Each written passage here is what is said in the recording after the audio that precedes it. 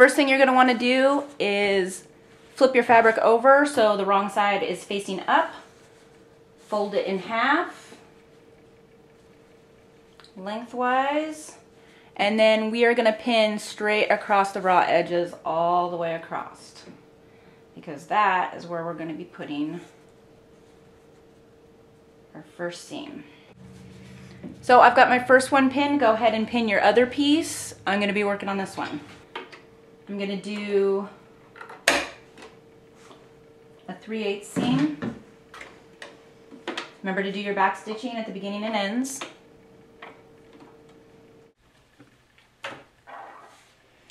Now what we're gonna do is we're gonna pin this strip around the outside of our leg so that we can figure out where the seam is gonna go and how long this is gonna have to be. So I've got two seams to choose from. I'm gonna start, I don't wanna use this uh, overlapping seam. I'm gonna use, um, this one's a little cleaner on this side. So I'm going to start my pinning on this edge. And this is just for measurement. Just make sure that you have no gaps um, while you're pinning. My jeans are, these jeans are actually a little bit stretchy, but I am not stretching them at all because otherwise I'll end up with gaps and mis mis mismeasurements. Um, so I'm just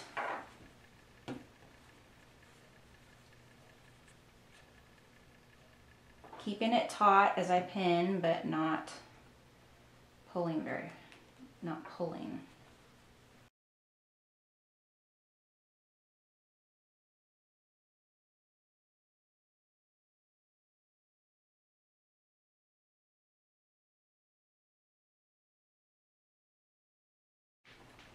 You want to pin as close as you can.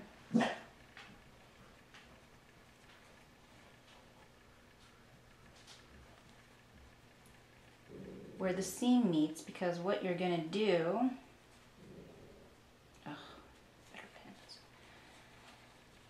where these two, where your beginning and end pieces meet, this is where you're, you're going to mark where these two come together and they should match up exactly where your jean seam is. So we're going to put a pin, not, we're not going to pin to the jean, we're just going to pin really close and we're just going to mark right there at the top. I have this pin going across through the fabric without going through the jeans to mark where the two fabric strips meet at the beginning and end. And I'm gonna leave this one in, this pin is gonna stay in, and I'm gonna unpin the fabric that I just pinned all the way around.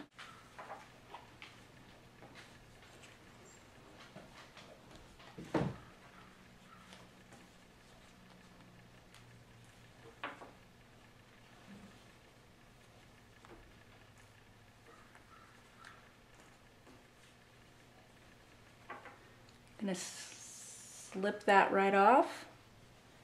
And now I know exactly where I'm supposed to stitch across for the width of my jean leg. Okay, so I'm going to turn this pin and mark it as going straight down. Make sure it lines up across the bottom, which it does. Once I put my footer where I want it, I'm just gonna remove that pin.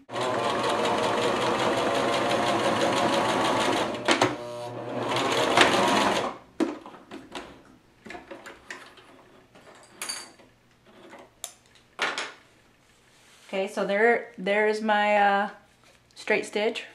So now, so now I've got this. Okay, and we're just gonna clip these little end pieces off to about, I don't know,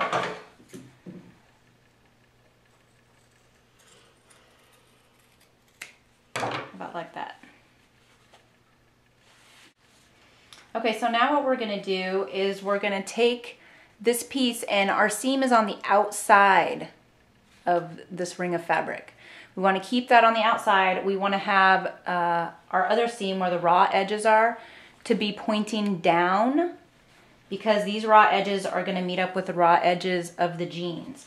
The fabric is gonna be on the outside. So we're gonna slip this ring of fabric around our pant leg or jean leg or whatever you're using.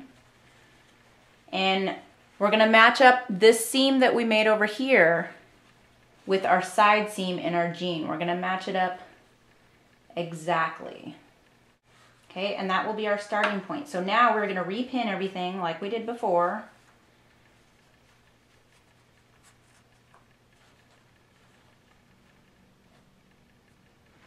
And what I like to do is kind of uh, pull it tight and do go over and pin the opposite edge first so that I end up with less chance of gapping.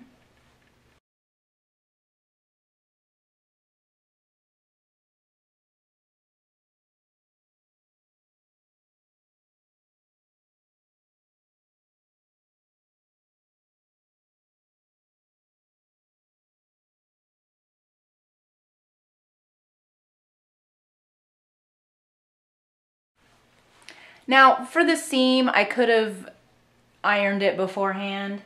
Um, but my fabric is laying pretty nice, so I'm not real stressed about it. Okay, so now the most important thing we want to do here is we have our original seam that we made on the fabric um, to close the top.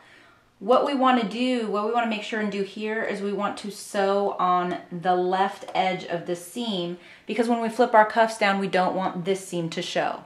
So we are going to do, this will end up being uh, da, da, da, 3 eighths if I do half inch. If you want to cut it real close so that you don't take any length off of your cuffs, you may want to um, so that this whole section would be closer to like a half inch, um, which is what I'm gonna do. And I am just gonna slide, you can slide your needle over to the left if you want, um, or you can leave it centered. I'm gonna leave it centered and I'm just gonna try and sew a really straight seam. So what we're gonna do is what we're gonna do is a little back stitch and we're gonna sew a straight seam all the way around and meet up and hopefully it will meet up in the same place we started.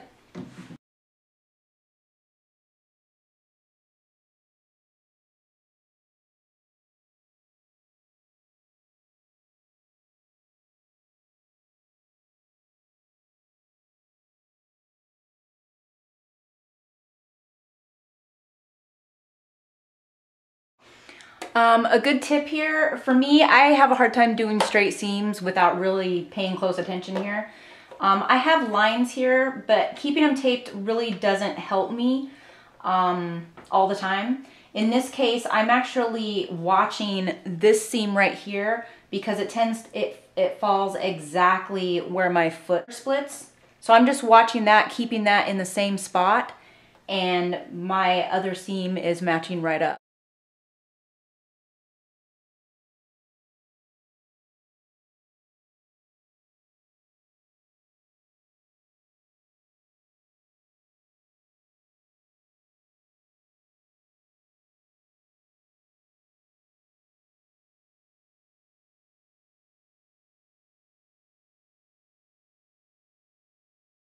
Okay, so I just completed that seam. I suppose we should probably cut off these little danglies. Now that looks good. Now we get to flip this over all the way around.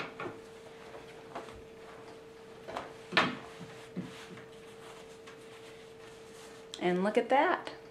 Got a little edge on there. Okay, I just ironed these out and I love it. It's exactly what I was going for. I'm gonna keep it real basic. I'm just gonna do a white straight stitch, uh, top stitch here and here, and be done. Okay, and all I'm gonna do is line up my foot along where the jeans meet the fabric, and I'm just gonna move my needle over to the left.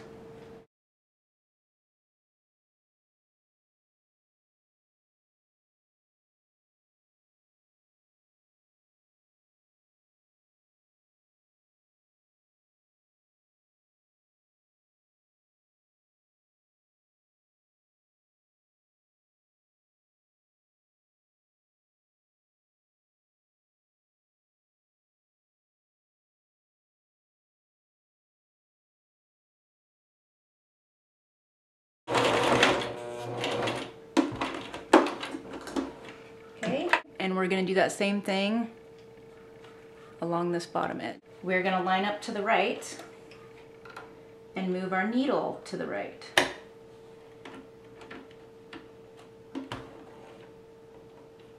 That should be about perfect.